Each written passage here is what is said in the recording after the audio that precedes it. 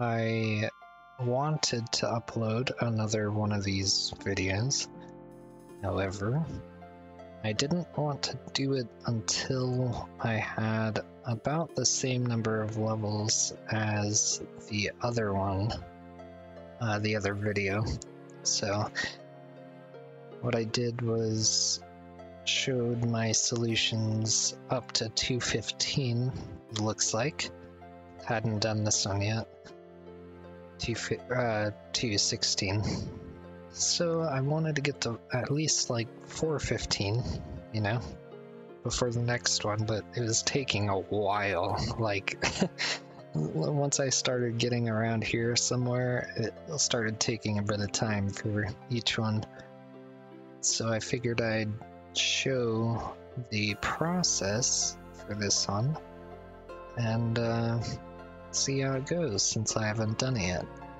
So this is thread the needle 4-8 and we'll see just how long this takes me. So it looks like we have a dune buggy here.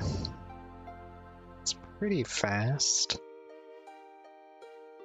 Got a bit of acceleration horsepower, but whenever it rolls downhill, it will idle. So to show what the level looks like,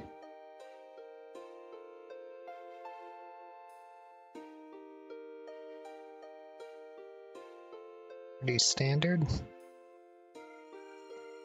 So we have to get it into here. And if we look, there is a platform over there. So we have to somehow get it over this mountain and squeeze it underneath It's our limited a number number amount of roads. I think yeah, it's the same whether or not you use a reinforced road or a regular road. So first, um, since we don't have many roads, for instance, if we turn this grid on and put our roads all the way to this point, so that's already four. So that's the most roads that we can do. I can't put another one because I don't have any more. So, we'll have to get by with what we have. And I wonder if I can't put a good uh, single road, like a little ramp up here or something. So what I'm doing here that we have for our building resources, because this is a road, something that the car can drive on top of. And uh, each thing costs its own amount of money per meter. Now, the things on the other side of this little line are your building resources. So, right now, what we have access to in this level is wood, steel, rope, cable, and springs. And they each cost a different amount per meter of usage. And a meter, we're Oops, if we're looking at this point here, a meter is this far. Not very far. So this is 180, 450 for steel, that's wood. 220 for rope, 4, 4 or 400 for a cable, and 330 for a spring. So what I was doing with the steel just draw a little triangle for this for this road because if I don't put anything here whenever I start the level that road just sort of falls down. This is on a slow speed so you can't really see what it looks like but for a regular speed this road is gonna just fall and hit the side of this wall right here and then does nothing. So what we'll do put a piece of steel here and here, and this kind of supports itself. It's rigid now, because if there's just one, both pieces would just fall to the side. But if you have two, boop, it kind of stays the same. So what we'll do, we'll use what's called a wall brace by bringing the steel over and hugging the wall with it. That way, whenever the car goes to drive on the road, it'll push down on the road because of the ramp. And like whenever it goes up, it exerts like sort of an opposite force onto this road. And whenever it does that, that force is transferred into the steel, which pushes down against this wall, which I don't have to worry about the stress of because it's just a big wall. And so while this gets compressed and it gets pushed down into this, which I might have to bring it up, I, am I'm, not really sure yet. Uh, this road is going to be supported by this piece of steel here. Now that's pretty expensive for our budget and uh, this piece here, what it's going to do is it's going to prevent this piece, this little yellow circle, from going down. Uh, and so because of that, this piece of steel that was here, it's going to be under tension. So that means this piece is going to be trying as hard as it can to pull away from this piece here. So Instead of steel, we're going to use a cheaper material that's specialized in tension, which is rope, and see how it does for us. And so this is going to be supported here. It doesn't break, but the car doesn't quite get to where we want. So real quick, let's adjust it and uh, slow down the speed so you can see what's going on. So the car is idle downhill, but once it gets flat, it's going to start accelerating and then ramp off of here. Boom. Now that's not a very good jump for us. Well, I don't know actually. Let's see how it turns out. Maybe it is a good jump for us. That looks like it could work. Okay, so before we continue, let's look with our stress visibility on. And we can see the stress of all these parts here. And uh, the reason why we design things in a certain way. So it goes on, stresses out the wood, pushes down, and stresses us out. While we're here, let's just make this as small as possible.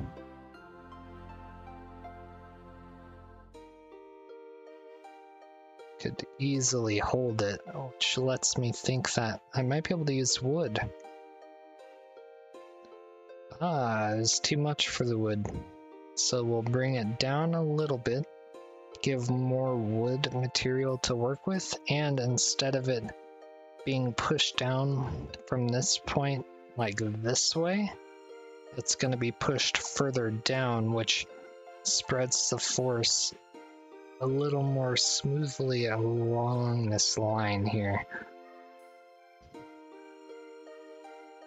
Boom, and it barely survived that jump. Look at that. That is almost perfect. So very good. Currently, it does slow down up here, and then it'll sort of fall down. So, I'm thinking if we can get it to ride this mountain, maybe we can squeeze our way in there. So real quick, I'll build something out here. That way I can do this. Okay. So I have some road. I'll make a little triangle here. Now we'll see if this actually works the way that we want it to. Oh, it does. It does. Okay.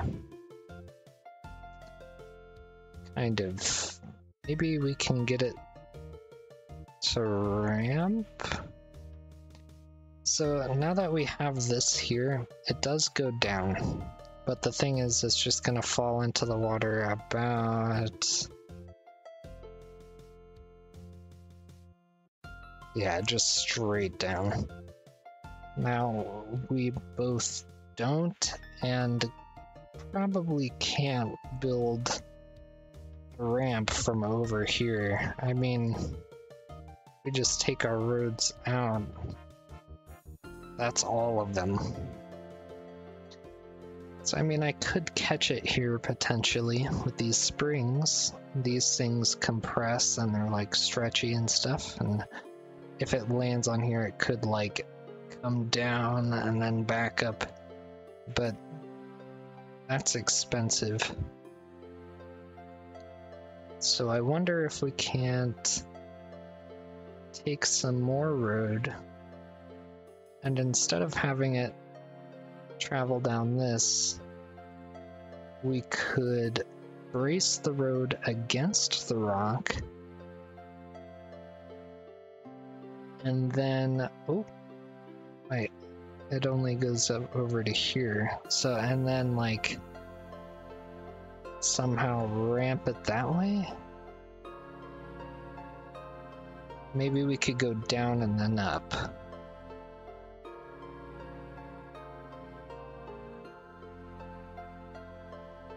it's interesting. I'll see how much merit this has.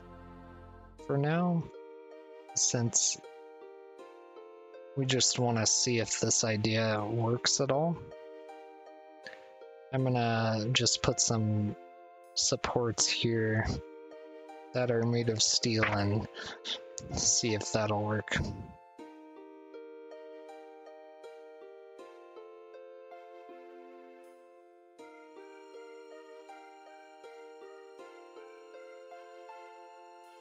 So let's see what happens. It goes up, comes down, does it ramp across? Oh, almost there.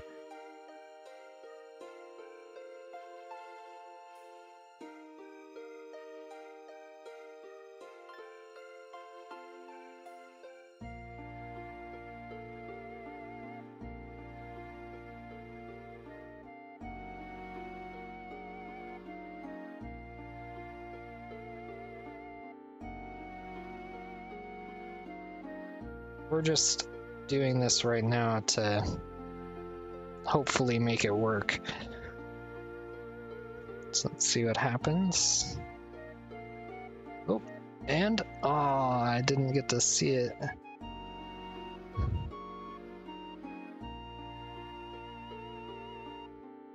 So it wasn't high enough. Let's raise our jump a bit and keep it smooth if we can.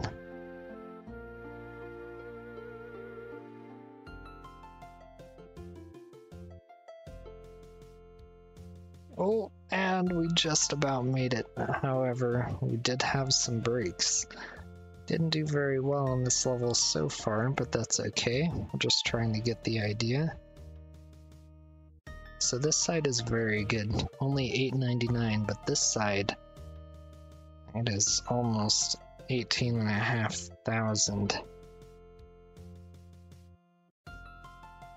So we've got to figure out a way to get this cheaper first.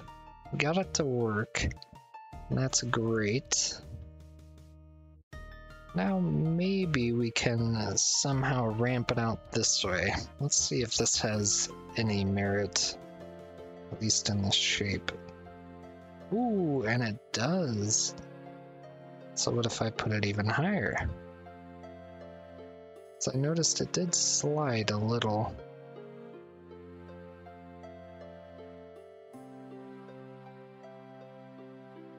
Oh, looks like we're getting somewhere. What we'll first do, let's figure out where this thing goes. around there, the midpoint between these two points. Probably around here so. It, did it come down?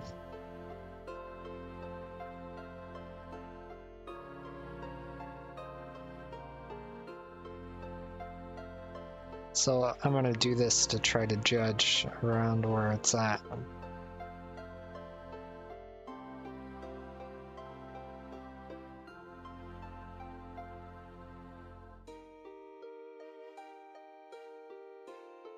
Okay, let's see how this does.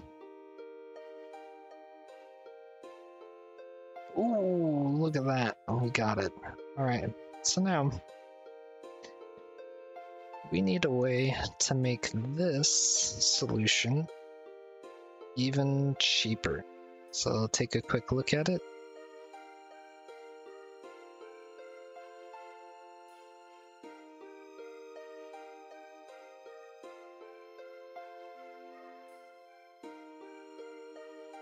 Very simple. Top 12%.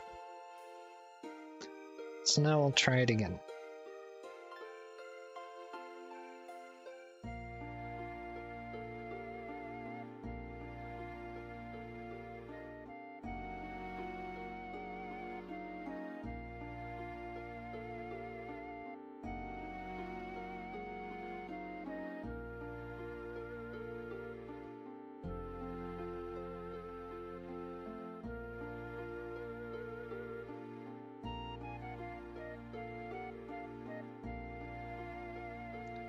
Ooh, I just found something. If we made this a better ramp, because it loses a ton of speed right here. So if we just continue that uh, little smooth curve, maybe get a better amount of speed going forward. Yep.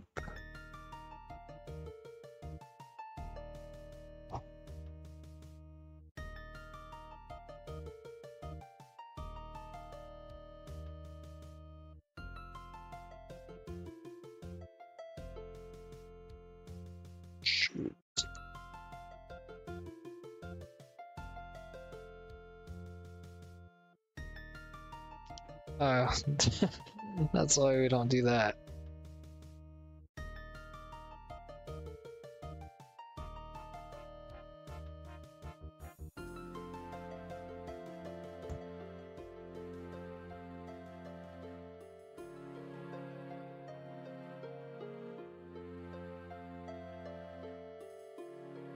Okay, that did work. Top 6%. What? Solution has breaks. Try again.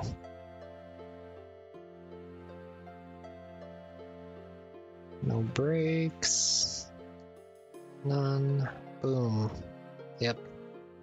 It's all good. I don't have any breaks. Yeah. Top 10% for unbreaking bridges. So let's see where our stresses are at.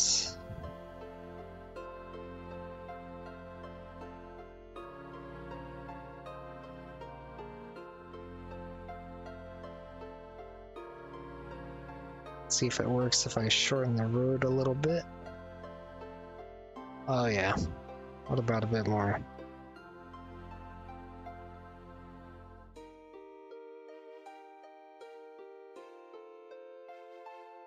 Okay.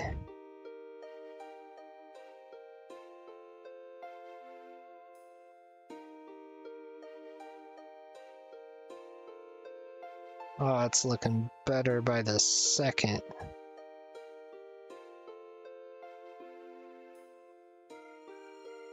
Oh my gosh.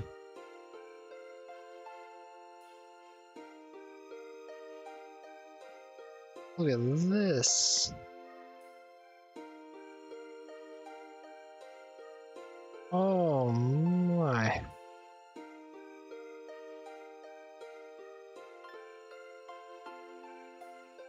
That is so close. It might just make it with this one road.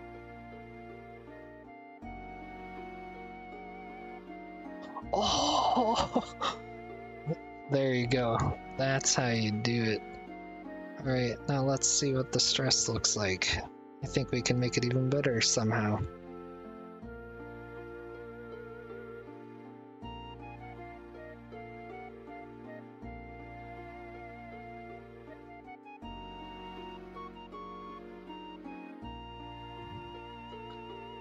Ramps up, drives over, falls down gracefully, comes off, and makes it just over. Top 3% in the world of that many people. So, not bad. So, hope you can kind of understand why it takes a bit to do the rest of them now. I don't do nearly this good on a lot of them, but uh, I still like. It's still a similar amount of time. So, and that's on unbreaking. Breaking, still top three percent. A little further up, because it's easier to do it with breaks, But anyway, hope you enjoyed. Uh, yeah. See you next time.